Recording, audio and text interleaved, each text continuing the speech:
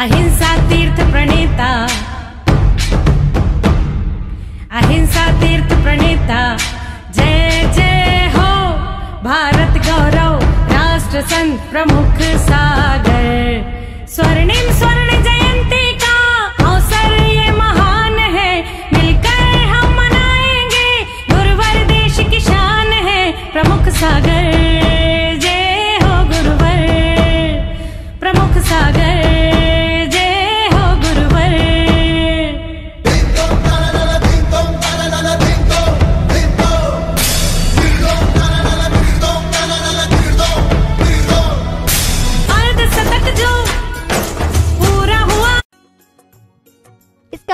आयोजक है श्री दिगंबर जैन, पंचायत गुवाहाटी, असम।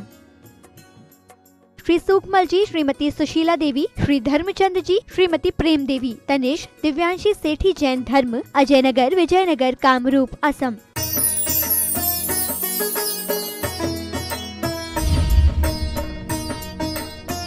कष्ट आने के बाद मालूम पड़ता है, ये लगता है भगवान मौत दे देना, लेकिन बीमारी मत देना, है ना? कष्ट नहीं आता है, तभी तक उसे लगता है कि छोटे सा अगर गैस प्रॉब्लम भी हो जाए ना तो दुनिया इधर से उधर हो जाती है। लेकिन उस वक्त समत्व भाव रखना, उस वक्त ममत्व भाव छोड़ना, उस वक्त अपने आप का चिंतन मनन करना, ये दुर्लभ है। इसको समझना है, होगा, लेकिन उसे संयम के साथ पालन करें। ख्याल करो। आर्त ध्यान है, अगर उसी उसी में लगे हैं थोड़ी थोड़ी और एक बात का हमेशा ख्याल रखना, जो लोग बनावटी बीमार होते हैं, जो लोग आर्टिफिशियल बीमार होते हैं, जो लोग काम चोर मतलब काम से बचने के लिए बीमार होते हैं, वो जब रियल में बीमार होते हैं ना, तब कोई उन्हें पूछता नहीं है। कई बार स्कूल में बच्चे पढ़ने नहीं जाना है तो कहते हम बीमार हैं। है ना? वो आर्टिफिशियल क्या लगाते एग्ज़ाम के समय पर? मेडिकल लगा देते। कि हम बीमार थे, इसलिए हम एग्ज़ाम देने नहीं आ सकते। मेडिकल और कई बार तो बच्चे लोग नहीं स्कूल जाना है तो टीचर को बीमार कर देंगे। और कहीं होमवर्क पूरा नहीं हुआ तो मम्मी को बीमार कर देंगे। ये सब आर्टिफिशियल बीमार है। घर में श्रीमती जी को काम नहीं करना है तो कह देंगे, सर दुख रहा है। आर्टिफिशियल बीमारी।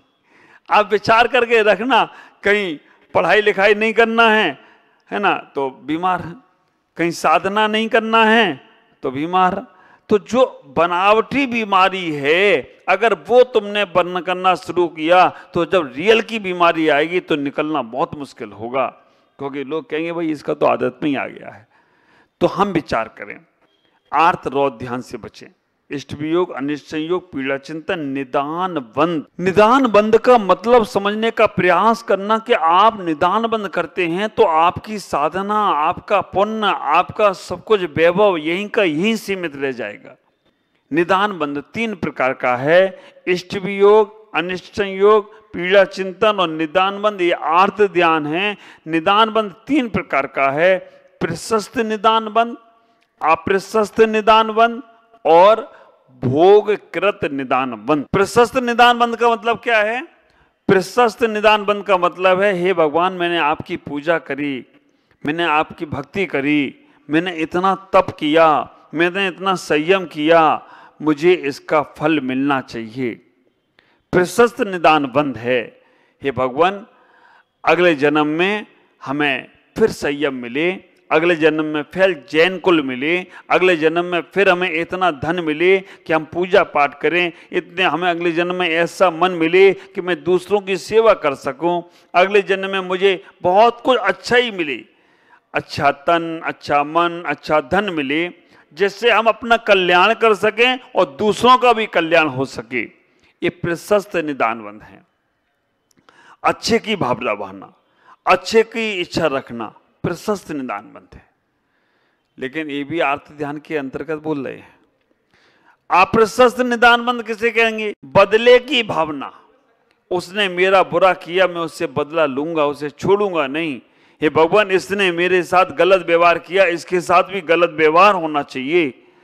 ये अप्रशस्त निदान बंद है कि हमारे मन में बदले की भावना आ रही है। हम दूसरे से बदले का भाव रख रहे हैं। ये अप्रशस्त निदान बंद है और ये अप्रशस्त निदान बंद किस लेस्या?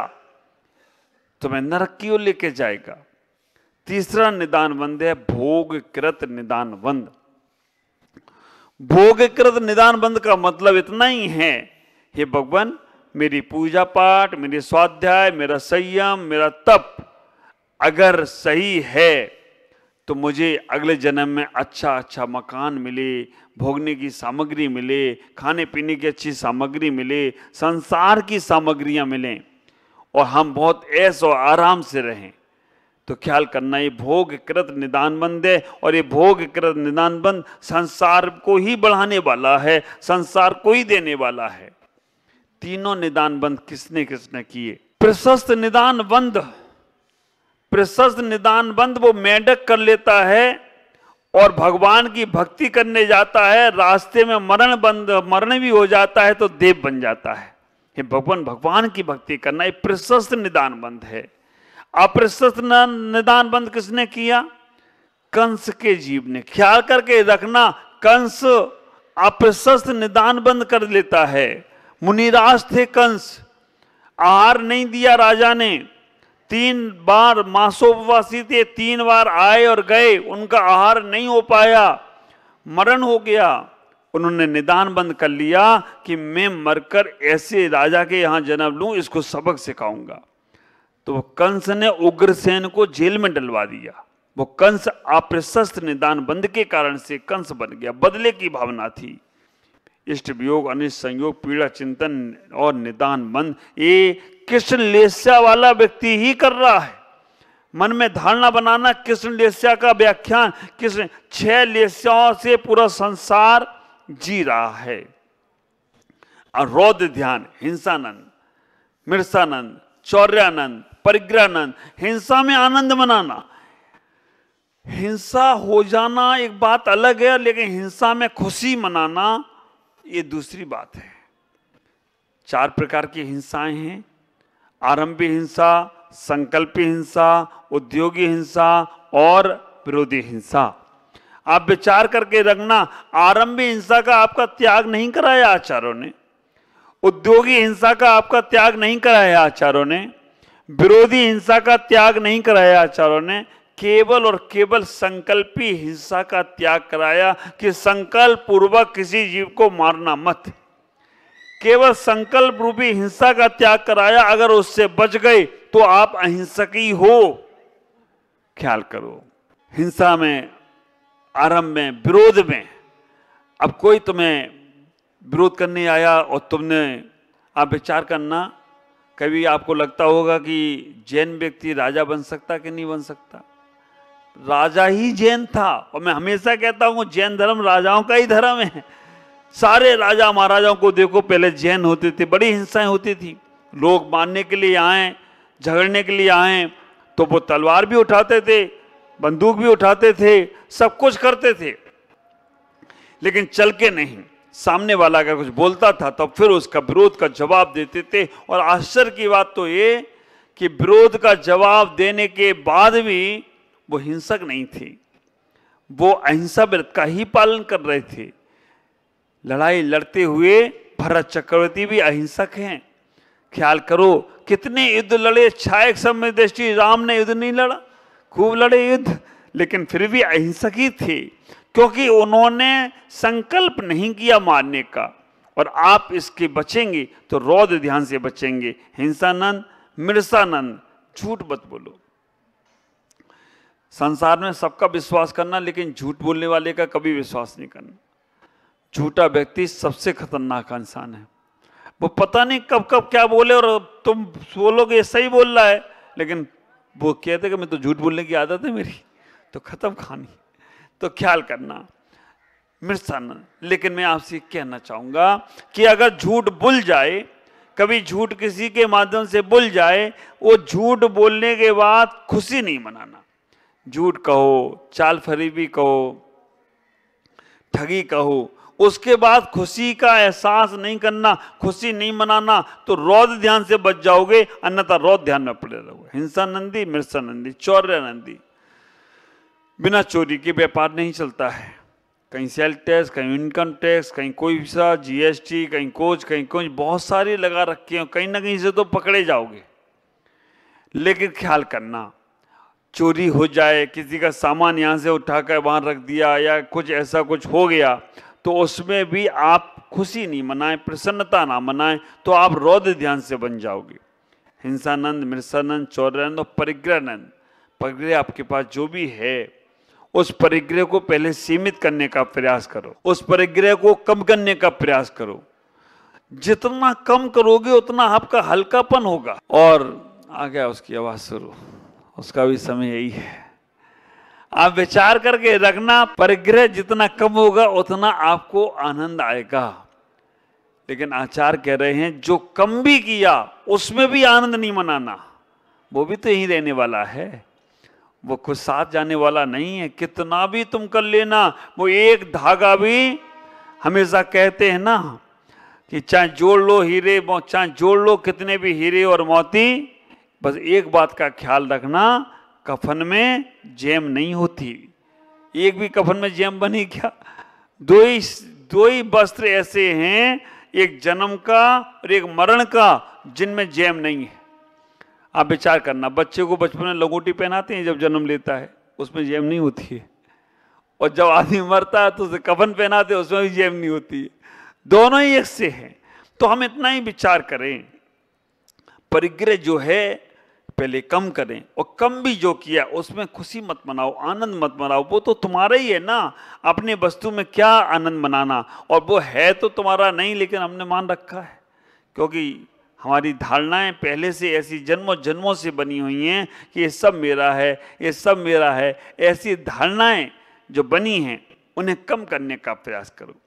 तो हम रौद ध्यान से बचेंगे। आचार्य कह रहे हैं, आर्त रौद सदा क्रोधी। हमेशा बात बात पर क्रोध। बात बात पर उनके गुस्सा। बात बात पर चिड़चिड़ापन। बात बात पर उनको जो मन में क्रोध का भाव आता है वो भी किस लिस्य वाला है? और मात्सर्य भाव ईर्षा का भाव हमेशा हम दूसरों की बढ़ती को देखकर प्रसन्नता होना चाहिए खुशी होना चाहिए लेकिन हम ईर्षा का भाव कर रहे हैं। उसके साथ गिलानी का भाव कर रहे हैं। उसके साथ मन में गलत भाव ला रहे हैं तो ये हमारे नरक में कारण है और कृष्ण लिस्या में कारण? कृष्ण लिस्या वाला ईर्षालु होगा? कृष्ण लिस्या वाला क्रोधी होगा? कृष्ण लेसा वाला धर्म वर्जिता, धर्म से रहित होगा? धर्म वर्जिता का मतलब है धर्म कर्म चलता रहे, वो उसे उसमें इंटरेस्ट नहीं आएगा। पूजा पाठ में नहीं आएगा। वो कहेगा कि मैं जो कर रहा हूँ, वो सब सही है।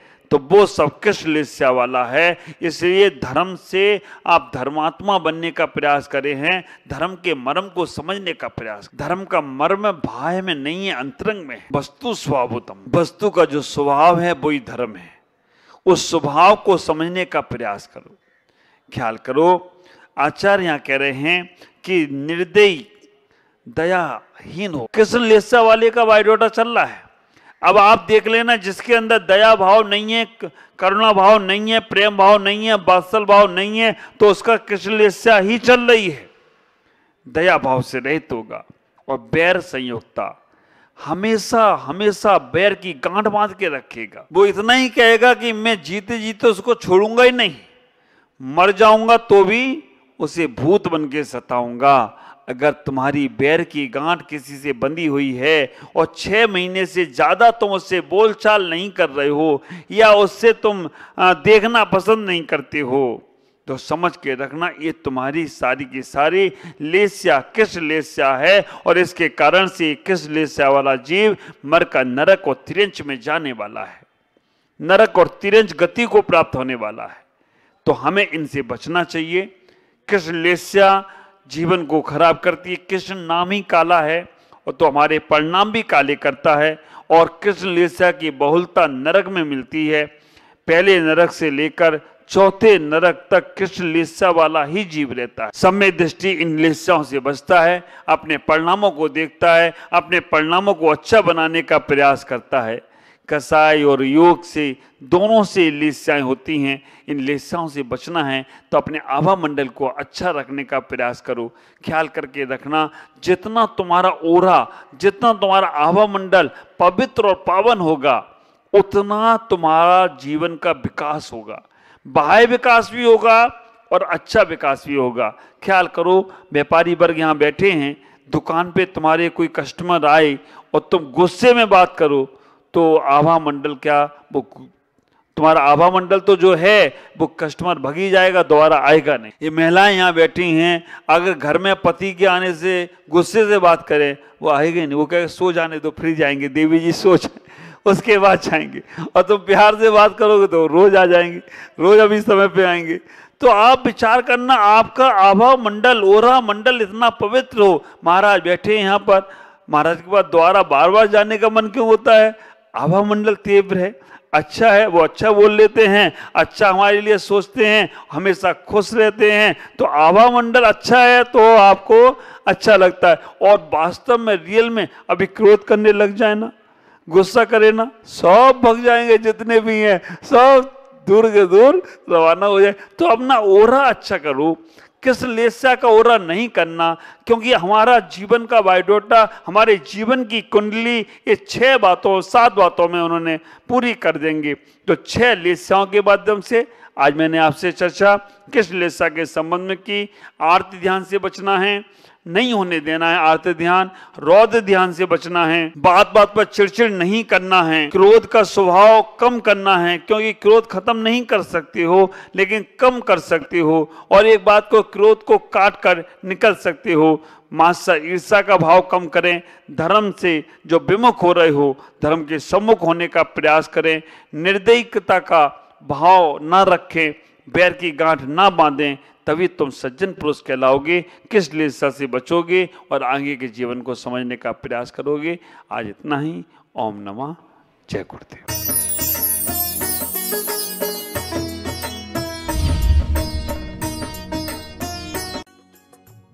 इस कार्यक्रम के आयोजक थे श्री दिगंबर जैन पंचायत गुवाहाटी, असम। श्री सुकमल जी, श्रीमती सुशीला देवी, श्री धर्मचंद जी, श्रीमती प्रेम देवी, तनिष, दिव्यांशी सेठी जैन धर्म अजय नगर विजयनगर, कामरूप, असम। अहिंसा तीर्थ प्रणेता। अहिंसा तीर्थ प्रणेता। जय जय हो, भारत गौरव, राष्ट्र संत प्रमुख सागर। स्वर्णिम स्वर्ण